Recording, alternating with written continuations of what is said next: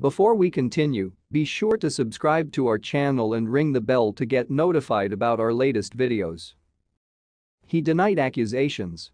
Korean news broadcaster, 8 News, reported on accusations of Chaebol Lee Jae-hwan sponsoring a former female idol, A. It was said that A is now a celebrity personality despite her roots as an idol. Lee Jae-hwan is the youngest brother of the CJ Group's current president, and he himself is the chairperson of a subsidiary company of the conglomerate. Screenshots of text message conversations between a CEO for a CJ Group subsidiary regarding A were released. In the texts, it is explained that it was arranged for A's music promotions to be taken care of. Regarding A, she seems to have more interest in her music distribution rather than her YouTube activities, so I've already told our music business department to cooperate with her for the confirmation of her music release and promotions forthcoming. Text messages between A and Lee Jae-hwan were further released.